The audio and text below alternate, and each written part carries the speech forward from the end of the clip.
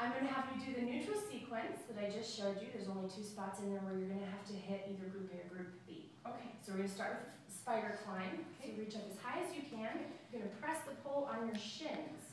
Keep both legs on this side of the pole. All right, this is the hardest sequence of all these, This is it? the hardest sequence All of all, So, for sure. One, one climb, you can reach above. Two.